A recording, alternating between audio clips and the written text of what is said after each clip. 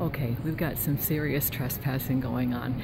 I am standing in the middle of the stage right now. I'm going to check my props and I'll actually show you what my vantage point is for most of the show. There is a great big tower down stage left and I'm going to show you where I am for most of the show.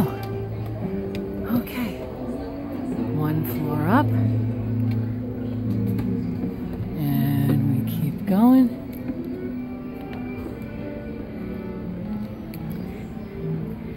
And here we are. About as high up as you can get. I'll give you a little bird's eye view of what's going on. Down there, there's a light. I'm not supposed to touch and I won't. Okay.